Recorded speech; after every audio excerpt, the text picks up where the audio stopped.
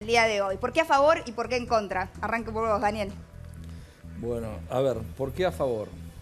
Eh, fundamentalmente, quiero ir a la esencia de lo que nos une y no de lo que nos desune, porque me parece que a partir de ahí podemos construir. Me parece que en todos los diálogos o todos los debates o pseudo debates se adueñó de la palabra vida o de las dos vidas un segmento.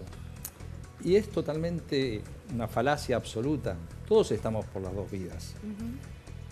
Lo que nosotros desde este lado, o mucha gente defendemos, desde de los derechos humanos, sobre una postura de que es aquella mujer que ya transitó por el trámite de las dos vidas y que por opción, con la libertad de conciencia que le da la Constitución, va a abortar de una manera u otra, si le vamos a dar un respaldo y una desde el lado de la, salud pública, un respaldo, o la vamos a dejar por la clandestinidad.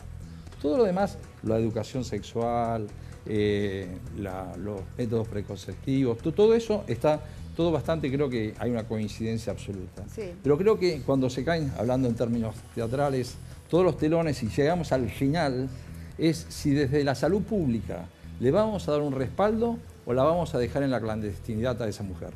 Yo creo que esa es en el fondo la única discusión. Bueno, ayer lo decíamos un poco, ¿no? No es aborto sí o aborto no, sino qué se, se hace con el aborto, si va a seguir siendo clandestino o si va a estar legalizado. ¿Por qué te metiste en, esta lucha, Daniel? ¿Qué te, llevó a, llevar esta bandera? sé que estás trabajando activamente. Que a veces, primero porque creo fervientemente, eh, es más, creo Creo que los hombres somos muy turros en no habernos metido más en esto, abiertamente. Yo creo que si, si, estar, eh, si este problema sería un problema de los hombres, hubiera tenido una, mm. aprobación mucho más inmediata en el Congreso. Creo que, muchas de las sociedades donde reina el patriarcado eh, ha postergado esto porque posterga a la mujer de por sí.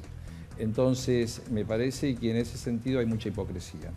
En segundo lugar, creo que hubo hasta por manejar medios, problemas de comunicación, me parece, porque todos estamos por las dos vidas. Entonces esa dicotomía, dos vidas... Sí, estoy a favor de la vida, fue un poco el, eh, argumento que, se eh, usó para... Estamos todos a favor de la vida. Entonces, es más, yo creo que nosotros estamos totalmente a favor de la vida, pero estamos diciendo a esa mujer que transitó todo el camino y llegó al momento traumático del aborto, ¿la dejamos en la clandestinidad o le damos una respuesta desde la salud pública. Y para mí ahí se terminó el tema. Es eso. Sí, una solución y, urgente. Y creo que es tan sencillo como eso. Y creo que todo lo demás es aledaño, pero lo central, lo periférico, porque todos coincidimos en todo lo demás.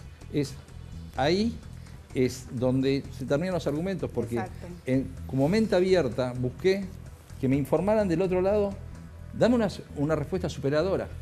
Es mi obligación como hombre pensante porque tengo mujer, porque tengo hijos, eh, porque necesitamos una sociedad mejor a futuro, entendernos.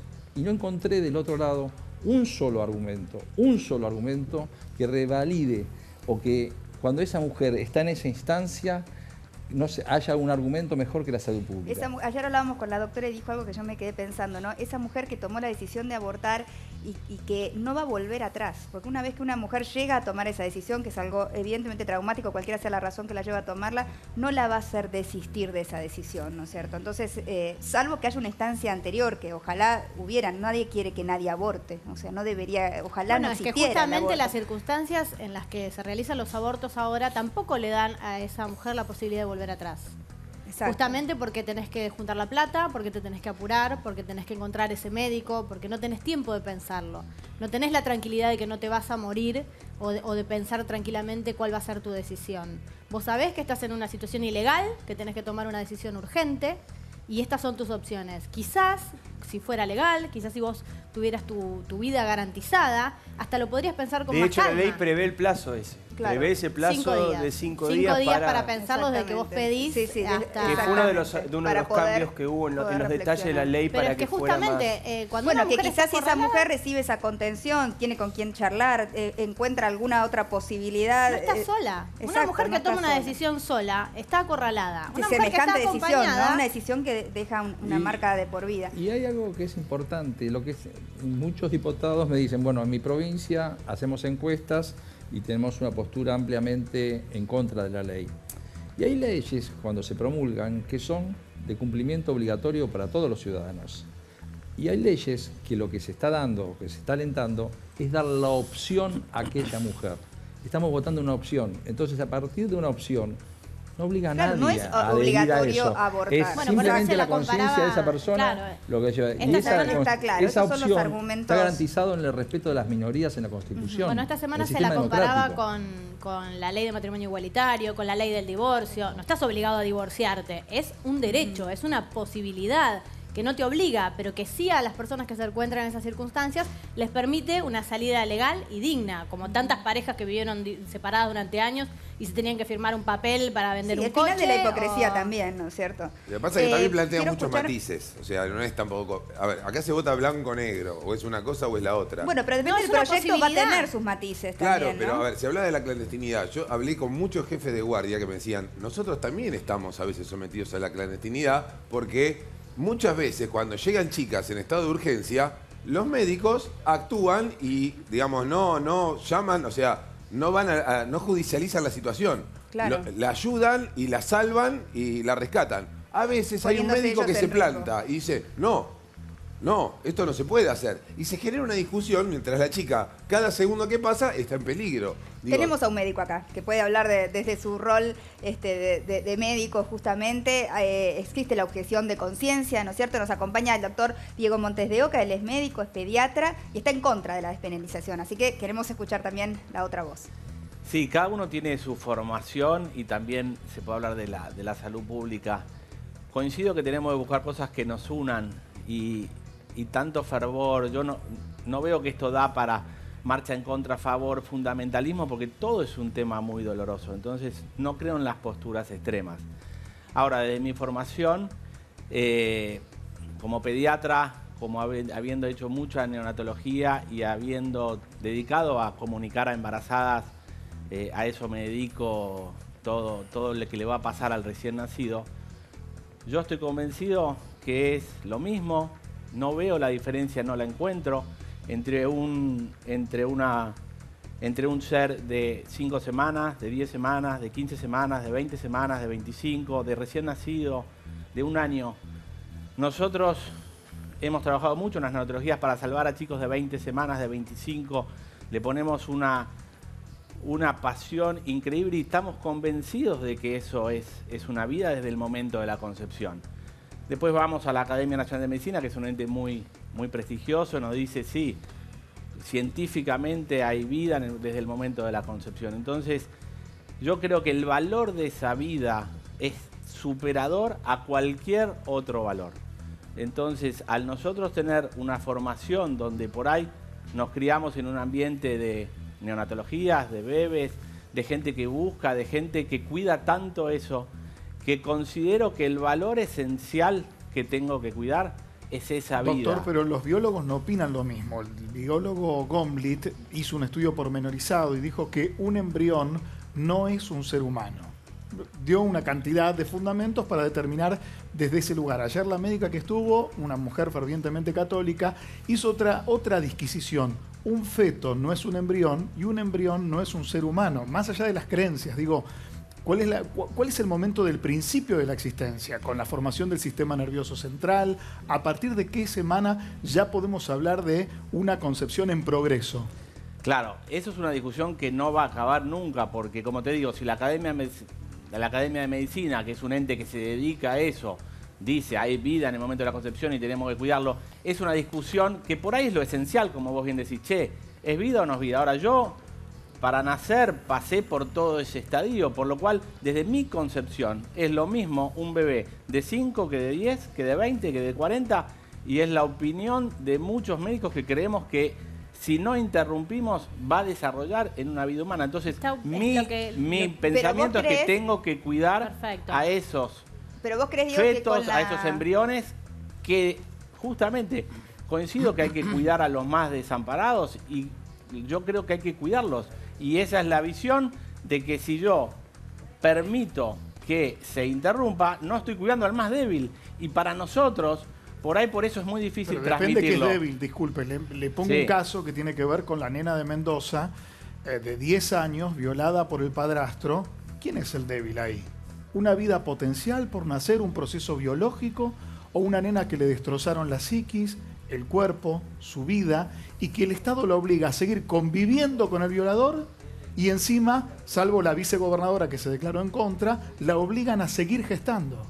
digamos, todos los casos particulares, y el caso que vos decís es espantoso y coincidimos, y nosotros somos médicos, nosotros cuidamos, vemos casos como los que vos contás. Son casos particulares. Yo voy más que nada a la generalidad, porque ahí te pueden decir, bueno, está contemplado, no está contemplado, ya en caso de violación, pero yo voy a, a lo esencial de por qué, como médico, como pediatra, como médico de recién nacidos, yo tengo esta postura, porque me he dedicado toda la vida a cuidarlos y creo que cuando uno ve a un chico de 22 semanas en la neonatología totalmente desprotegido y uno le pone tanto amor para que salga adelante, para mí eso es lo mismo que un chico de 10 semanas. Yo no, no, ¿cómo hago una diferencia 12, 13, 15 cuando uno lo siente así y desde la ciencia donde uno toma de referencia dice lo mismo? Por lo cual creo que hay que, que, hay que unir, no hay que, que dividir ni poner posturas extremas. Esa es mi visión de por qué creo que la vida de ese, de ese como quiera llamarlo, que está en la panza de una mamá, tengo, es mi prioridad. Daniel te quiere responder y luego la voy a escuchar Raquel. Coincido plenamente en lo que decís vos, plenamente, pero no me abarcás el tema de aquella mujer que después de hacer el proceso llega el momento traumático del aborto, por lo cual, eh, obviamente, mientras uno apueste a, que quiera tener eh, ese embrión, se convierta en bebé y pongámosle la vida en el momento que quieras, ¿no? Por más que a mismo de la ciencia hay dos criterios. Vos no me terminás de contestar qué hacemos cuando esa mujer llegó a la instancia que por su conciencia, cada uno tiene la libertad de conciencia que quiera, optó por, y, en un y en una circunstancia de la vida, pues la mujer puede ser que en una instancia no quiera tener el hijo y más adelante sí, y entonces, porque a veces eh, a, las excepciones yo no le quiero ir, yo le quiero a la general, me parece que, porque en las excepciones están muy contempladas muchos eh, dentro de la ley. Eh, pero yo quiero ir a la general, que es aquella mujer que llega a un momento, se enfrenta en su propia conciencia a que decide abortar, a la cual, ¿cuál es la solución de tu lado a, a eso? Y ahí es donde yo encuentro en la postura anti-ley que no me dan respuesta. Claro. Bueno, yo te escuchaba anoche hacer esta misma pregunta, te agradezco el, el, tono, porque creo que este es el tono que hay que tener esta discusión, esta, esta charla, porque todos nos desespera una muerte. O sea, eso es clave. Ahora, yo por ahí te revierto la pregunta y te digo, en esa circunstancia que es muy dolorosa y que esa madre, por de pronto te digo desde ya que yo no la juzgaría, no la condenaría, porque después tenés los extremistas que dicen, no, no, esa madre es una víctima y esa madre está pasando por una situación espantosa. Pero yo me pongo del lado del bebé y te digo, ¿y quién protege a ese, como quieras vos decir, llamarlo? ¿Cómo yo voy a, después de todo lo que nos hemos matado toda la vida en cuidarlos, entre comillas, dejarlo interrumpir o abandonarlo? Entonces yo te digo, yo comprendo tu pregunta, no tengo la respuesta, pero yo me pongo del lado del que está ahí adentro y digo, ¿quién lo protege a él? ¿Quién protege ese chico que dice, yo estoy acá, o, como quieras llamarlo, lo estoy poniendo metafóricamente y desde, desde el sentimiento? Entonces es una pregunta que yo tampoco tengo respuesta y yo te hago la pregunta, ¿y quién protege a ese bebé? Y, vos te voy a responder. Yo creo que la... Ah, perdón. No, digo, quizás para contextualizar en qué, en qué momento estamos debatiendo esta ley de legalización de la interrupción voluntaria del embarazo, ¿no? El ministro de Salud actual estuvo en las audiencias, participó, habló de las estadísticas que muchos venían cuestionando si eran reales o no. Lo cierto es que lo que él dijo es que esas estadísticas que nos hablan de que hay casi la misma cantidad de abortos como de nacimientos, alrededor de 500.000 en la Argentina por año, que es la principal causa de mortalidad de mujeres gestantes, el aborto clandestino en la Argentina, que cerca de 70.000 mujeres son hospitalizadas en nuestro país por año también a consecuencia de la clandestinidad, están por debajo de las estadísticas ciertas porque esa medición está elaborada por un registro eh, realizado a pedido del Ministerio de Salud eh, pero está basado en estadísticas de los hospitales eh, públicos. Entonces, es un subregistro, digo. en este algunos denuncian y otros no. O sea, que hay no siempre registran ante este No, no, pero es una práctica clandestina, con lo cual... Que quizás ni siquiera llega a, la atención en el hospital, ¿no es cierto? Que, llega a la atención en el hospital. Bueno, las mujeres que mueren son las mujeres pobres, eso también nos dicen las estadísticas. Hay un debate de fondo que tiene que ver con la hipocresía, con la doble moral. ¿no? Digo, en este contexto en la Argentina, donde las mujeres mueren por aborto clandestino, estamos debatiendo la necesidad de que haya una ley que aborde la problemática desde la salud pública. Digo, para no irnos a lugares en donde probablemente no vamos a tener síntesis. Ni la religión, ni los referentes en la medicina este, tienen posiciones eh, que sinteticen desde cuándo hay vida o desde cuándo se es persona, que no es lo mismo, ¿no? Lo cierto es que hoy en la Argentina, a pesar de que el aborto está penado por ley, ¿sí? y que hay excepciones a esa punibilidad desde 1921, con lo cual ya está aceptado el aborto, ya está aceptado interrumpir una vida desde 1921. Eh, por un fallo de la Corte. no, el, fallo de la Corte lo que vino a decir es que en todos los casos de violación el aborto es no punible, porque incluso venía sucediendo que pasaba esto que pasó en Mendoza o en algunas provincias en donde se judicializaban situaciones terribles de niñas que eran eh, violadas y producto de esa violación quedaban embarazadas y no se les garantizaba el acceso a los abortos no punibles. Bueno, eso también es algo que está sucediendo. Una ley de 1921 no se está garantizando en nuestro país, que es en qué, en qué circunstancias se puede interrumpir esa vida a la que hace referencia acá el doctor, digo, ¿no? O sea, ya existe una valoración en nuestro Código Penal de que esa vida, esa potencial vida, se puede interrumpir en casos de violación, en caso de que peligre la salud de la mujer, en caso de que eh, ese feto no tenga eh, vida eh, luego de haber nacido. Esas son las excepciones a la punibilidad, con lo cual nuestro código hoy ya habla de que se puede interrumpir esa potencial vida. Digo, pero como no hay consenso, no hay acuerdo, lo que debemos construir es una sociedad que respete las diferentes creencias. No es posible que el conjunto de las mujeres hoy estemos sujetas a una idea de solo un sector de la sociedad o de un sector de los sectores más conservadores de las religiones. Vivimos en un país laico y las mujeres necesitamos dejar de morir por causas evitables. Hoy estamos debatiendo eso, si se está a favor del aborto legal o si se está a favor del aborto clandestino. Esa es la discusión. No si el aborto sí o el aborto no, ¿no es cierto? El, aborto va a seguir existiendo. El aborto existe, es la realidad. Existió, existe y va a seguir existiendo. ¿Qué vamos a hacer con esas mujeres que llevan adelante esta práctica? Reducción de daños es lo que hay que hacer. Claro, digo, porque incluso en los países en donde el aborto es legal, que vale la pena aclarar, la mayoría de los países del hemisferio norte han legalizado esta práctica, Rusia, eh, hace 100 años que tiene el aborto legal, lo que sucede es que lo que disminuye en primer término es la mortalidad de mujeres gestantes por esta causa. Entonces, y no aumenta la cantidad de abortos realizados. Y no, aumenta, pero digo, se contiene a, las mujeres desde un lugar de poder incluso eh, lograr que no haya reincidencia. En la Argentina también las estadísticas dicen que las mujeres abortan en promedio dos veces en su vida. Esas mujeres que abortan, que abortamos, somos madres, ¿no? Cuidamos a nuestros niños y niñas, estamos a favor de la vida. Y si tenemos que preguntarnos quiénes estamos acá y quienes están viendo el programa, si conocemos a alguna mujer que haya abortado, lo más probable es que todos tengamos a mano alguna mujer querida, conocida, que pasó por esta situación. No creemos por eso que sea una asesina, no creemos por eso que tenga que ir presa. ¿Qué creemos? Que hay que cuidarla, protegerla, no, no ponerla en riesgo, ¿no? Digo, nos atraviesa al conjunto de la sociedad, necesitamos legalizar esta práctica para que dejen de morir las mujeres.